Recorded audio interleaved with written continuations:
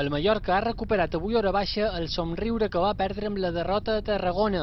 Els de Vicente Moreno han tornat a la feina amb les bromes d'Aridai i les felicitacions a Antonio Raillo per la seva recent paternitat. El tècnic valencià no ha estat menys i també s'ha afegit el bon ambient dels seus jugadors.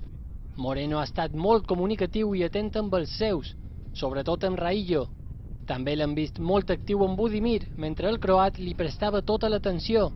A la sessió no hi han participat ni Lago Júnior, que va acabar lesionat contra el Nàstic, ni Frank Gámez. La bona notícia pel tècnic és que recupera dues peces clau per al partit contra l'Almeria. Raillo i Dani Rodríguez han complit sanció i estaran disponibles.